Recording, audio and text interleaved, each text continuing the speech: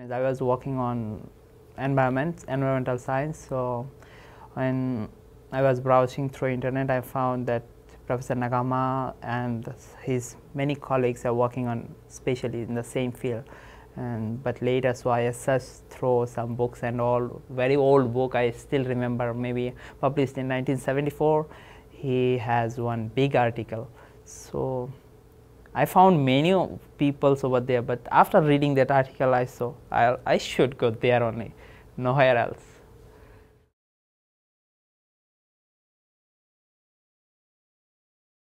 So the first thing I got inter interested in NIBB is their infrastructure and their autonomy, because we think that if it's a kind of autonomous institute, the research life is much more easier and competitive compared to the government run institutes directly because here you can do whatever you want with much of, without much of complication, without not much of government interference.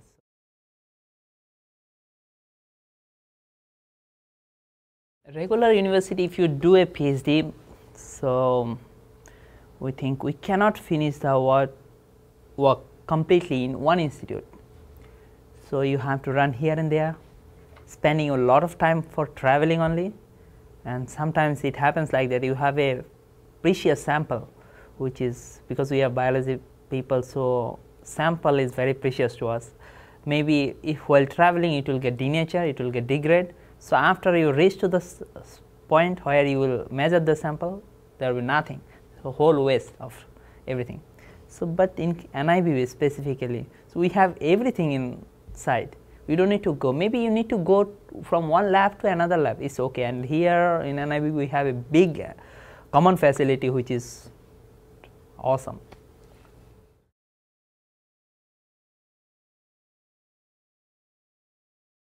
Main focus is reproductive endocrinology. So basically I am working with Medaka as a model system. So Medaka is a common fish in Japan and is easy to handle for any experiment, biological experiment. So I am doing generally gene manipulation and simultaneously environmental steroid study.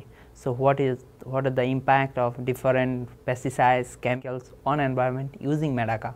So because Medaka is a kind of related to environment as you know fish always lives in the water. So water is basic necessity for everybody. So if you can measure and control the things in the water environment, aquatic environment, it's pretty much easier to control the other places.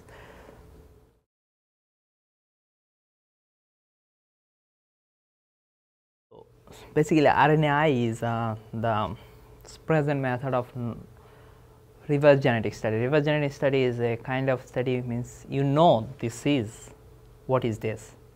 Then for pointing why this, you have to go back. To going back, we need something. So for that, there are many methodologies like knockout, taking just swipe away the gene from this then you will understand why it happened then you will lose that phenotype you will lose that character so but for fish unfortunately we don't have any knockout system right now like mammals and uh, like uh, mouse. So only the option is knockdown reduce the expression.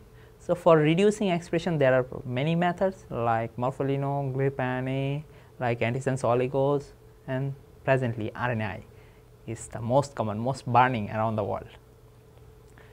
So, RNA is uh, kind of use is used uh, in vitro in vivo system. It integrates into the in vivo system. It makes in vivo system use and allows to knock down. So, my research is because RNA is a very commercial system. So, we need to depend on the companies for getting the things done, everything to starting from design of RNA, uh, small RNAs and other things. So, it the cost becomes little more higher. So, if we want to study a really particular gene in detail, so we have to study many things, what, not only this gene knockdown, but related gene knockdown and study whether these are the pathway to find out the pathway why is happening. So, for that maybe the cost of that will be very high. So I thought maybe if we can develop something, something very low cost and very easy, who can everybody can do. Of course, we have to depend on the company. Sometimes it's it's not like that. But if we can make the system by ourselves and we can manipulate the system, so with a limited cost, we can give a better result. That will be good for our whole communities.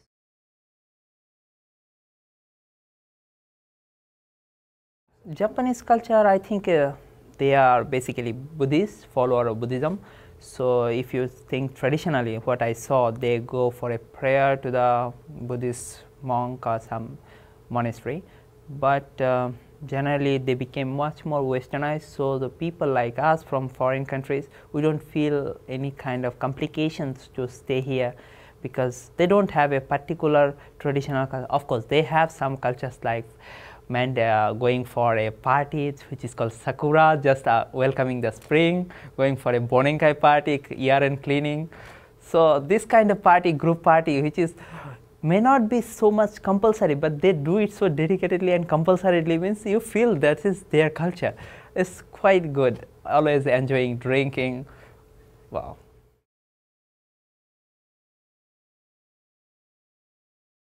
I would like to say one thing that people who think that in Japan, the people, may, most of the foreigners think that maybe the Japanese people, they cannot handle the foreign people because of the language barrier.